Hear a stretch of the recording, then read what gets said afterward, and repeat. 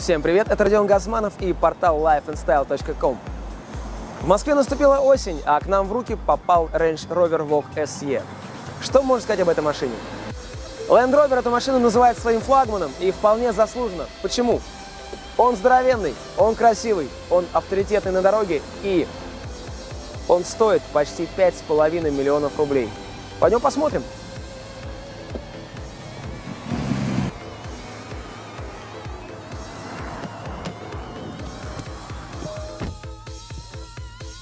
Дорогие друзья, э, вместе с порталом Life Style я рекомендую вам всегда пристегиваться во время езды. Нужно же взять на себя какую-то небольшую социальную миссию. Итак, мы с вами сидим в Range Rover Vogue э, Special Edition. Я специально сказал это с э, русским акцентом, для того, чтобы все поняли, что мы снимаем для русского портала, хотя он называется иностранными словами Life Style. К тому же на домене com. Абсолютно не патриотично с вашей стороны. А, Мы ругаем машину сегодня, дорогие друзья. На самом деле это будет довольно тяжело делать, потому что довольно неплохое получилось. Фирменная фишка Ягуаров и Land Rover а, выезжающая шайба.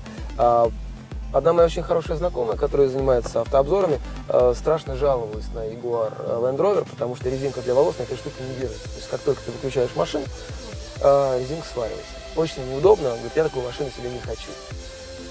Что у нас здесь есть хорошего? Ну, в первую очередь, э, мы вообще теперь, э, будучи избалованы хорошими комплектациями, машина без панорамной крыши машины не считаем. А Давайте откроем и посмотрим, как здесь красиво.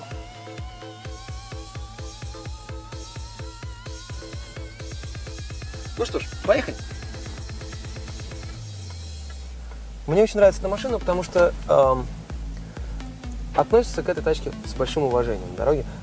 Салон здесь на самом деле замечательный.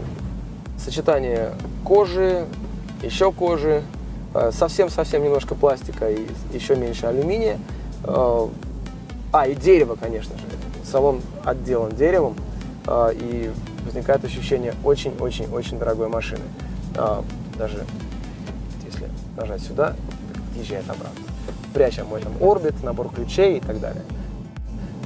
Вот. Машина а, внутри очень приятная. И когда садишься, просто чувствуешь радость от поездки. Я не люблю дерево, я не люблю э, салон, отделанный деревом. Но здесь э, оно абсолютно не смотрится чужеродным. А, единственное, где мне больше понравился салон, это э, совершенно верно, Jaguar э, XF. Да, безусловно. Но этот салон, честно тебе скажу, э, не могу назвать идеальным. Почему? Мне не очень нравятся прямые линии, которые здесь превалируют.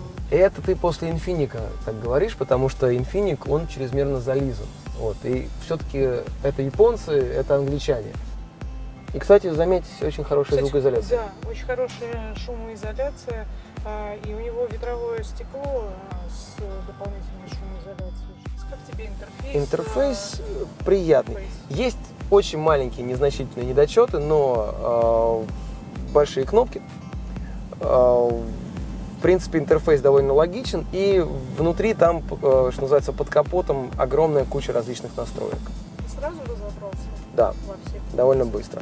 А единственное, конечно, те, которые занимались переводом на русский язык интерфейса э, Range Rover, и, кстати, Ягуаров тоже здесь интерфейс похожий, э, они просто не стали заморачиваться, то мы видим э, такие вещи, как telev.kn.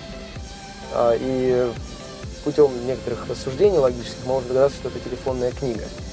Вот. а хотя, допустим, словом «контакты» можно было бы здесь ограничиться тем же набором символов. Очень интересная э, функция здесь из многих других э, – это двойной экран. То есть здесь включается функция, которая позволяет тебе, например, смотреть мультики. Любишь смотреть мультики? Вот. А, а мне не отвлекаться от дороги и смотреть, допустим, на навигацию. Ты видишь ТВ? Я бы не сказал, что он очень хорошо ловит. Да, ловит не очень. Да. Но Если мы смотрим с DVD, допустим, то здесь он раскрывает. Да, но при этом где второе окно? Посмотри с моей стороны. Я не вижу телевизор. Я вижу интерфейс навигатора. Как здорово. Алло. Громкая связь реализована отвратительно и э, слышно очень-очень-очень плохо меня. Хотя я, тебя, собеседник как- слышу хорошо. Я когда звонила, конечно, не могла Мгм. разговаривать, пока ты не переключился на телефон. Да. Ну, запишем это в минусе. Ладно, давай поговорим плюсах.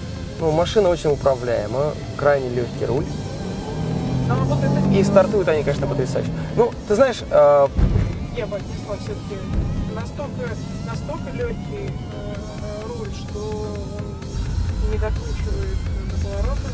А, да, имеется в виду, что он не, да, не выкручивается обратно на поворотах, а, и здесь приходится так придерживать, точнее, помогать ему раскручиваться обратно.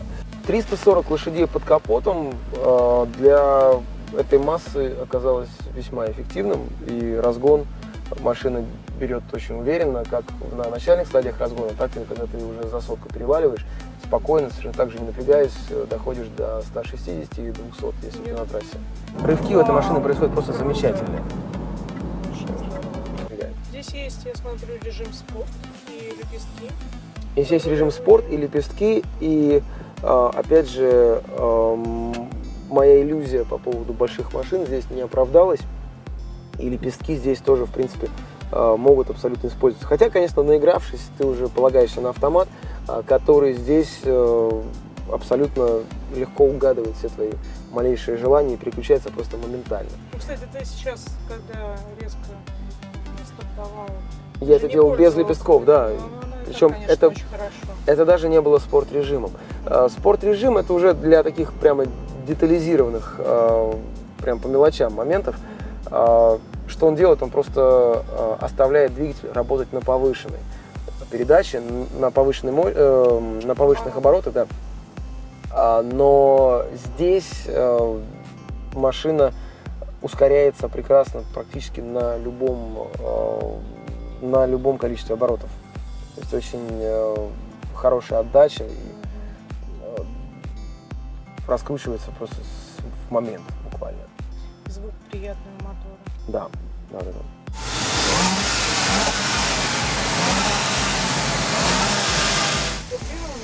Да, здесь, тур- конечно, а, здесь турбовый движок, а, трехлитровый, да.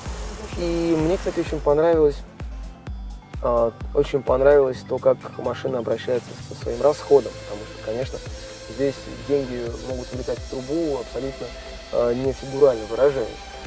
И, конечно, если топить, то можно увидеть как средний расход какой-нибудь показатель типа 50 литров. Здесь направо, да? Вот. Если же не топить и ехать аккуратно, осторожно и бережно, то э, можно добиться такого показателя, как 11 литров. А 11 литров э, по городу – это очень хороший показатель для любой машины, я считаю. Ну, с учетом пробок ты имеешь в виду 11. Да, конечно. Средний расход. Ну, такой смешанный, там, трасса и город. Вот, сейчас вот мы с вами видим расход 19,6 литра на 100 километров. А, ну, в конце концов, когда ты берешь такую большую машину, с чем-то приходится мириться. А, мы не будем уподобляться тому олигарху, который купил себе Мерседес с бриллиантами в руле, а потом сдал его, потому что ест много. Вот, в конце концов. Вот. А бак у этой машины э, под 100 литров. Вот, поэтому заправлять его долго и дорого. То есть э, это первая машина, э, полный бак, который мне обошелся э, в 3000 рублей с чем-то. Да. Но, как говорится, за удовольствие нужно платить, а удовольствие на самом деле есть. Что можно сказать про салон еще? Здесь удобно, очень удобное кресло. Я люблю консоли между пассажиром и водителем. Это позволяет э, чувствовать свое пространство таким обособленным и выделенным. А, в принципе, руке удобно лежать, моей руке, по крайней мере, на этой консоли, но а, если хочется дополнительного подлокотника, то он здесь есть. А, Как и любой нормальный подлокотник, он регулируется по высоте. То есть здесь можно покрутить эту штуку. Ну, кстати, мне тоже очень удобно. Да, это хорошо. Настоящая фишка а, этой комплектации – это, конечно же, массаж. О, да. Как тебе? Прекрасно. А, перфорация сидений, вентиляция, то есть а, подогрев и охлаждение сидений происходит через поддув. А, Соответственно, а, если тебе жарко, ты можешь включить поддув холодного воздуха через сиденье. Только, конечно, злоупотреблять этим сильно не нужно, потому что можно простудиться. Здесь, кстати, а, среди кучи настроек есть еще таймер, а, по истечению которого, то есть после, допустим, получаса вождения автоматически включается массаж. Меня эта опция порядком задолбала уже, потому что я не всегда хочу массаж. С другой стороны, когда я на Селигер ездил на машине Renault Logan, мне, конечно, я скучал по Range Rover, потому что очень хотелось массажа. да. Обзорность. А, У машины очень хорошая обзорность, плюс, э, конечно, ощущение этого пространства возникает, когда э, видно панорамную крышу. То есть салон очень светлый, и чувствуешь себя так немножко как в аквариуме, несмотря на то, что задние стекла затонированы. Ввиду того, что машина высокая, видно очень хорошо. И э, в потоке ты видишь, кто что делает на несколько машин вперед, но только если ты не едешь за фурой. Конечно, этих ребят по высоте переплюнуть немножко сложнее. Сложнее. А, Мы можем взять фуру на тест-драйв. Зеркала большие. Да, хорошие зеркала, естественно, они изгибаются чуть-чуть к концу, для того, чтобы было- было видно э, мертвые зоны. Вот.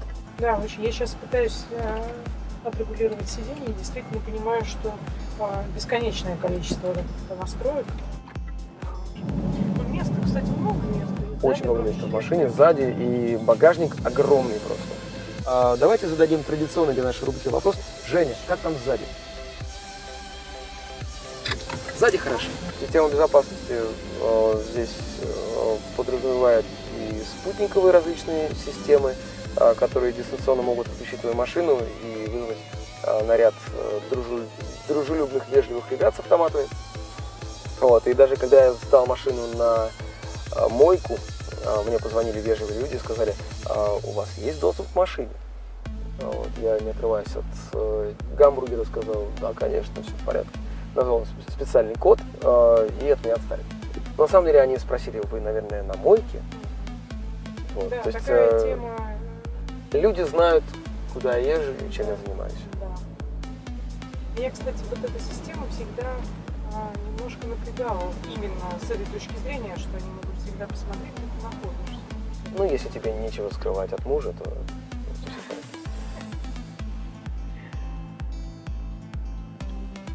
Да, хоро- хороший. для тех, пауза. кто- меня еще, у меня еще, еще один вопрос. А, Женя, как климат в семье?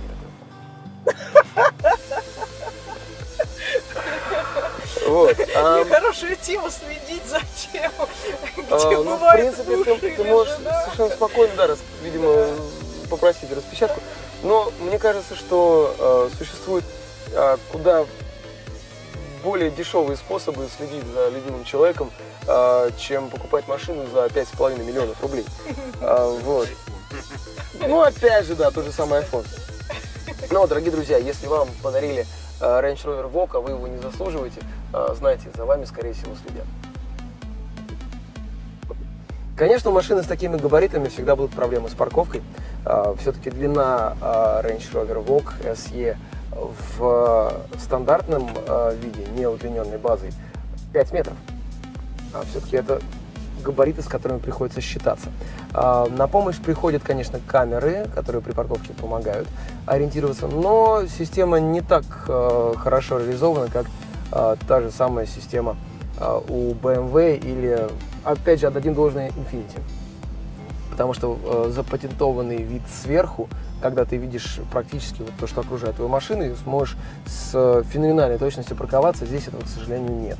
Вот, но задняя камера при необходимости позволяет совершить параллельную парковку. Вот, а все остальное довершает водительский опыт.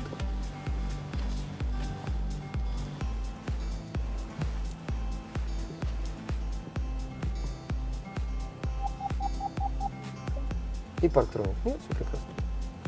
Главное, друзья мои, чувствовать машину. Еще одна прекрасная вещь – это пневмоподвеска, а, которая может творить совершенно разные чудеса. А, Кроме всего прочего, а, система стабилизации увеличивает или уменьшает жесткость подвески в поворотах. И это тоже очень здорово и важно. Я все никак не мог понять, как машина с таким клиренсом может э, на таких скоростях входить в 90-градусные практически повороты. Я понял, как это происходит, когда немножко почитал про машину на сайте подвеска. Но, кстати, подвеска действительно замечательная, потому что все дорожные неровности в виде люков и лежащих полицейских машина сглатывает абсолютно не замечая, а, что на самом деле неудивительно для машины подобного размера и подобного склада, потому что это не кроссовер, друзья, это настоящий внедорожник. А, Вы Для правы, кстати. протокола нужно отметить, что когда опущен подлокотник, отстегиваться неудобно. Вот, и Надежда только что это заметила. Да, Молодец. неудобно. Хотя если отстегиваешься левой рукой, ну, в твоем случае правой, попробуй, правой рукой. Нормально? Все равно неудобно. Это ты уже придумал сейчас. Вот есть специальная кнопка на двери, которая э, переводит машину в э, самое низкое положение подвески, для того, чтобы в машину было удобно забираться и вылезать.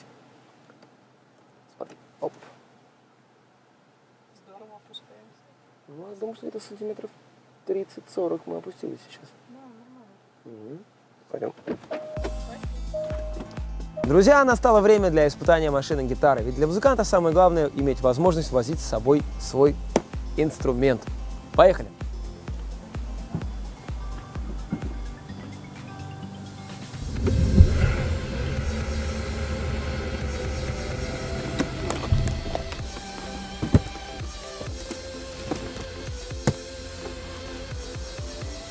Как видите, сюда можно поместить не только гитару, а штук 5, наверное, вместе с гитаристами. Э, Багажник у Range Rover Vogue весьма просторный.